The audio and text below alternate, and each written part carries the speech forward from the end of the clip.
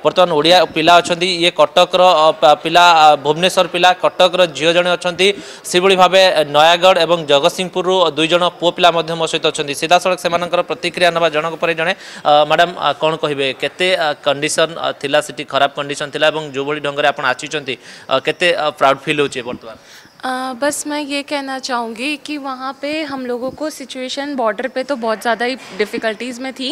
And फिर उसके बाद रोमानिया बॉर्डर पे आने के बाद तो एम्बेसी वालों ने बहुत हेल्प किया। वहाँ पे हम लोगों को सपोर्ट रखे। एंड फिर उसके बाद हमें यहाँ पे आने के बाद इंडियन वालों ने हेल्प किया था। एंड उन लोगों ने बोला था कि नवीन पटनायक सर ने कि वहाँ हमें सारी जितने भी हमारी चीज़ें हैं वो सारे वो देखेंगे। रहना खाना टिकट जो आप आए लगभग एक दो दिन टाइम लगा होगा आपको वहाँ पे। आ, वहाँ पे कितना दिक्कत आपको झेलना पड़ा?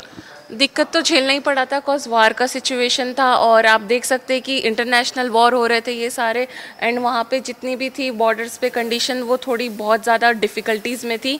लाइक like, चीज़ें इवन स्टूडेंट्स के लिए भी मैनेज करना बहुत डिफ़िकल्ट था क्योंकि ट्वेंटी सेंचुरी में वॉर होना it's very critical situation and वहाँ पर सारे स्टूडेंट्स जितने भी सबको बहुत तकलीफ़ हुई सबके पेरेंट्स बहुत ज़्यादा डिफ़िकल्ट में थे कि सारे बच्चे रह रहे कि नहीं खा रहे कि नहीं पी रहे कि नहीं। एंड फिर उसके बाद रोमानिया बॉर्डर पे हम लोग को बहुत हेल्प मिली थी रोमानियंस जितने भी गवर्नमेंट की तरफ़ से बहुत खाना वाना सब सुविधा मिली।